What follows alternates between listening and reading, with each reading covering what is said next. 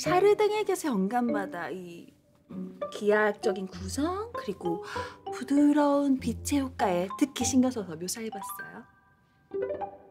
아, 샤르댕이요. 샤르등이 홀대받던 정물화를 예술의 경지로 끌어올린 최초의 정물화가잖아요. 예, 그렇죠. 예, 그림도 그렇고 모든 건 다 기초를 탄탄히 다지고 난 다음에 다음 단계로 넘어가야. 근데 이건 조금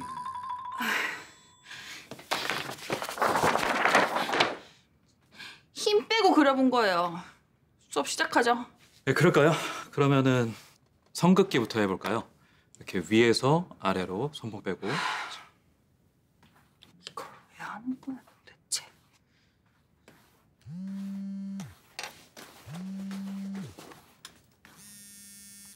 어, 받으세요. 아 예, 죄송합니다. 예, 이혜원 팀장님. 아니요, 잠깐 통화는 괜찮습니다. 아, 아 지금 작업실 앞이세요? 아 근데 이거 어떡하죠? 제가 지금 수업 중이라서. 오시라고 하세요. 인사도 할 겸. 아 오셔도 된다고. 좀 이따 뵐게요. 네. 혹시 마 작가님 임나눔 작가라고 절친인가요? 그걸 어떻게?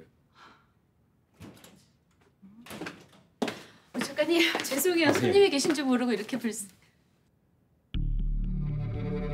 안녕하세요. 아, 지난주부터 저한테 그림 배우고 계시는 분이세요? 작가님 실례 좀 할게요. 어머, 어머,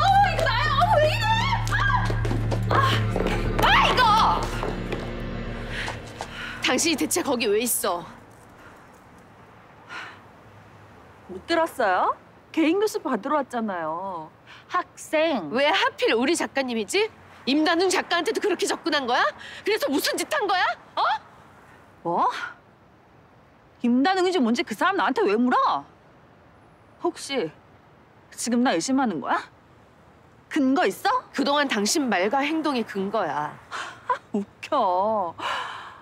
생사람 잡기 전에 네 친애하는 시어머니가 어떤 사람인지 나 먼저 잘 알아봐. 고고한 사람일수록 들키기 싫은 비밀을 감추고 사는 경우가 아주 많거든. 누구처럼. 말 조심해.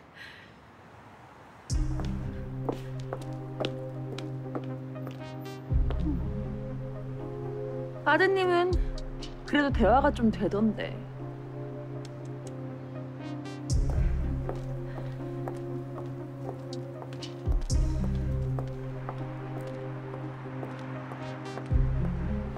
생사람인지 아닌지 내가 꼭 밝혀낼 거야.